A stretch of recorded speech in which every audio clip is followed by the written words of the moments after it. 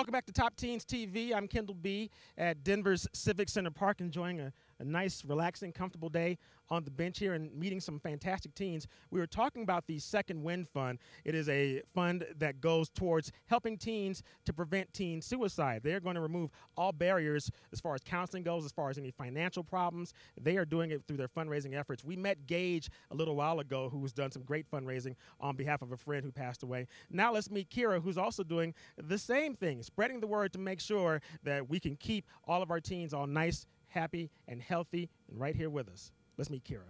My name is Kira Gressman. I'm a senior at Lakewood High School. I'm a member of the International Baccalaureate program here and I spend a lot of my time um, either in the band room playing French horn in this tech room uh, working on HUNCH, which is High School Students United with NASA to Create Hardware.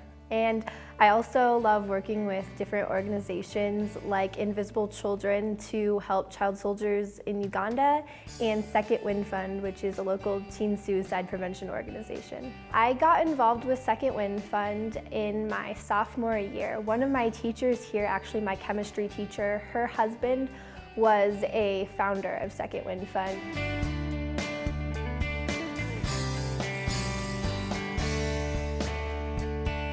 When I go off to college, I'm hoping to do a concentration in pre-medicine and a minor in uh, international relations because one day I hope to join Doctors Without Borders. The cool thing about being a teenager is that you have, you have the rest of your life to look forward to and you have a lot of time to explore and it's an exciting time in people's lives that they, they have all these opportunities in front of them, which again is really cool um, getting to work with Second Wind Fund because it makes sure that teens get to know that and that they understand that they have that whole future ahead of them.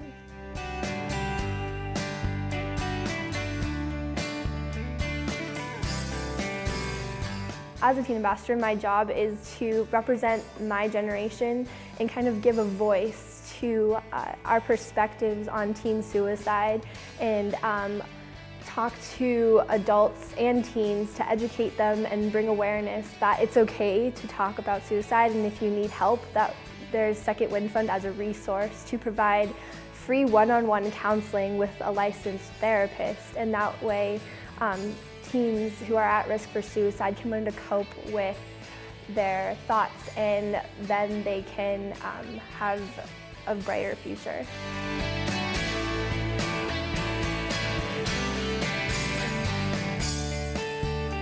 When you're a teenager, your friends are a very, very strong support system. So if you're a teenager and you see that something is wrong or you know your friend is going through a rough time, make sure you're there for them because especially when you're a teenager, I know that it's really easy to become uh, isolated and feel like you're the only one going through this. But the fact is that one in four teens every single year deal with more than a passing thought of suicide, and that's that's 25%. That's a lot of teenagers. So no one is going through this alone, and there's organizations like Second Wind Fund that have the resources that can help.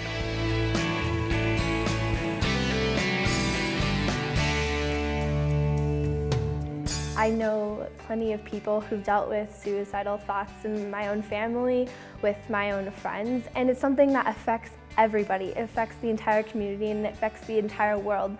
So knowing that I have the chance to help and impact the situation in a positive way, it's just been amazing and it's helped me grow as a person. It's not an easy topic, but it's necessary that it's that it's not taboo because if no one talks about it, then people can't get help. And the first step to dealing with suicidal thoughts is actually talking about it and get that's the only way you can get help.